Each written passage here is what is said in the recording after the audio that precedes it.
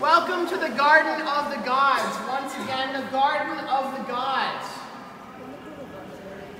Many people think this view on the return trip is much prettier than the first time through.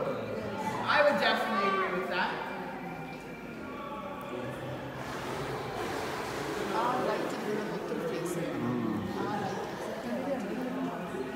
The next part of the cave, around the bend, is called the cathedral room.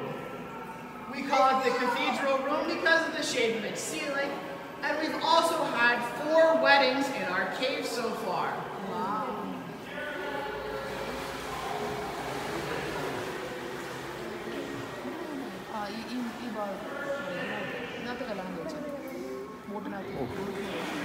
മോതിരം ഇട്ടാൽ മതി.